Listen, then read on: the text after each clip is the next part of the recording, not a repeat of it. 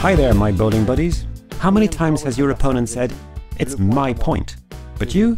Well, you totally disagree with him.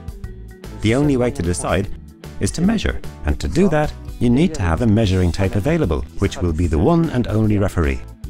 To measure the distance between this white boule and this black boule, to find out if the white team has a second point, we're going to measure these two boules. You can see that there's a white boule in the middle, so I'm going to remove it just to be able to measure.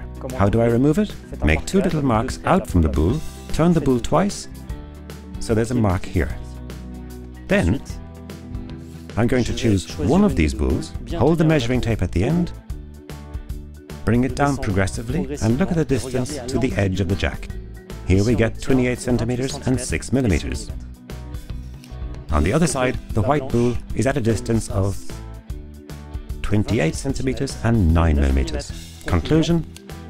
The boule in second position is black, which means that the white team only scores one point. That's it, it's decided. In pétanque, just like in life, there are no half measures. See you later, bowlers. Come on, let's have another round.